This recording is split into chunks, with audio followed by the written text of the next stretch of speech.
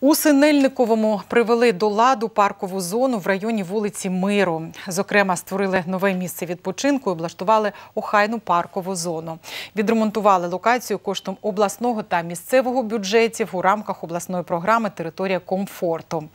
Відтепер у парку нове освітлення, акуратні доріжки для пішоходів та велосипедистів, дитяча ігрова зона, спортивний майданчик та ролер-дром.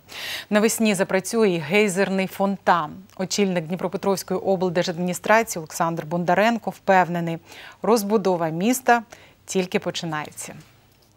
Ми будемо продовжувати однозначно цей проект у 2021 році, і територія комфорту буде наздоганяти інші міста нашої області. і Їх е, стане звичайно більше таких прекрасних парків. А раньше мы гуляли на стадионе, ну и вообще ходили просто по городу. Стало интереснее, построили, достроили площадки и переделали много чего, и вообще стало интереснее.